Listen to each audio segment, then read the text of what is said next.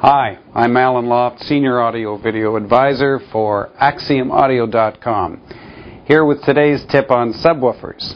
What does a subwoofer do? Well, it's really just a big, low pressure powered air pump that pumps low bass frequencies, whether they're for orchestral music, rock and roll, or low frequency effects, explosions, and the like for blockbuster movies. And because they're sort of air pumps, they all have their own amplifiers, and the larger the subwoofer, or rather, the larger the room you're trying to fill with low bass, the bigger the subwoofer you need. Because subwoofers are kind of dumb object. It doesn't care where you sit in the room. It just sees the total volume of space in front of the sub that it has to fill. So if you have a den, for example, or a smallish bedroom, you could go with something like the EP125, this little sub here, which has an 8 inch driver and an internal 125 watt amplifier.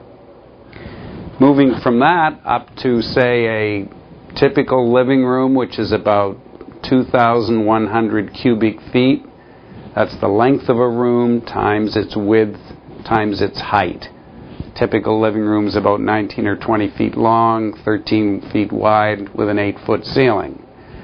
Now, with a room like that, you can use something like our Axiom EP175 sub, which has a 10 inch driver on the front.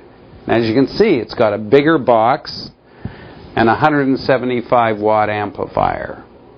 Now, when you get into bigger rooms with vaulted ceilings, great rooms, uh, and rooms larger than about 2,000 cubic feet, then you're up into using larger subwoofers and sometimes more than one subwoofer.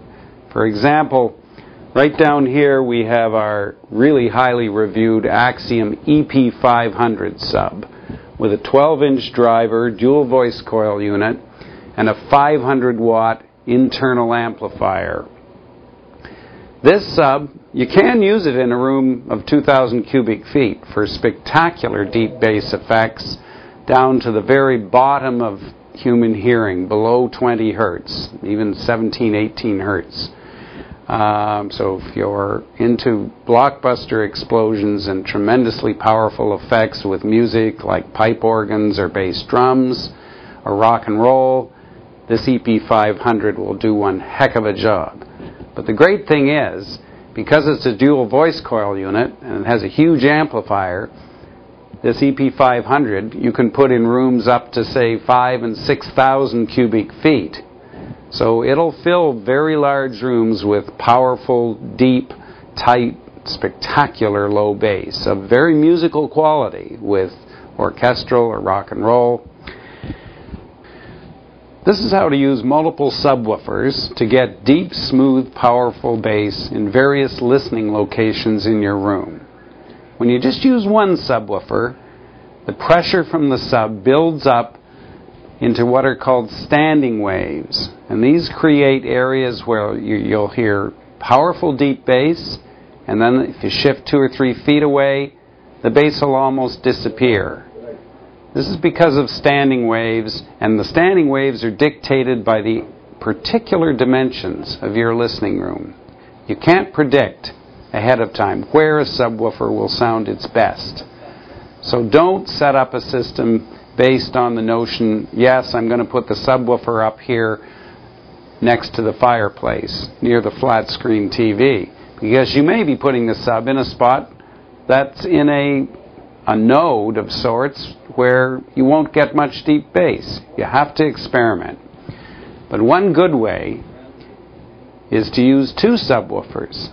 And what two subwoofers do is equalize out some of the variations in uh, standing waves throughout the room. A typical setup might be putting subwoofer like this EP500 on one side of the room and an identical subwoofer on the opposite side of the room. Or you could even use a smaller subwoofer if you already have a subwoofer.